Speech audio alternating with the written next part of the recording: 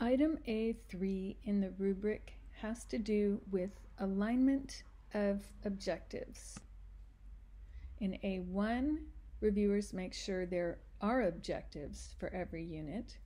For A2, reviewers make sure those objectives are active and measurable. And for A3, reviewers make sure that the module content is aligned with all the objectives. Specifically, your reviewers will look in each module to determine if the content and activities present are clearly related to the stated learning objectives, and they will ensure the content is sufficient for students to meet those objectives. Here's aligned examples. So let's say a module includes the following learning objective examine and summarize social movements associated with California progressivism.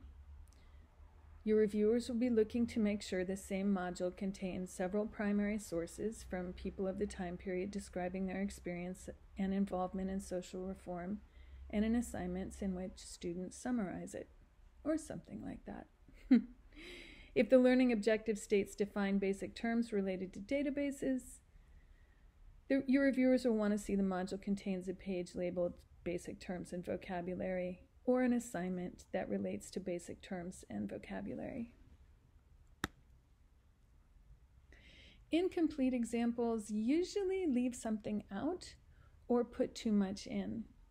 So a module might include, include a learning objective like describe the various layers of Earth and how each behaves. But the module content could only be related to Earth's magnetic field and plate tectonics. So what does that have to do with the layers of the Earth? In a similar way, a stated learning objective might be compare the fields of psychology, but the module only contains content and activities about clinical psychology and no way for the students to compare various fields of psychology.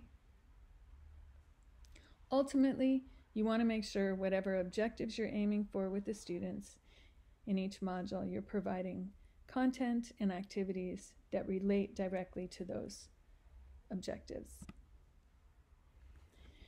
One thing to look out for is to be sure each module has adequate material to meet the objectives, but not so much that it's overwhelming. The curse of the expert is we have a tendency to give too much information, and on the flip side, we may overestimate students' prior knowledge and leave out key points and information. If you do find yourself providing content that is interesting but extraneous to the unit learning goals, you can separate it out and clearly label it as optional and still included in the course. Unit content and activities should be directly related to the unit learning objectives so that the student's attention is always focused on what you want them to learn and do within each module unit. When this relationship is present, it's easy to ensure the coherence and effectiveness of the instruction.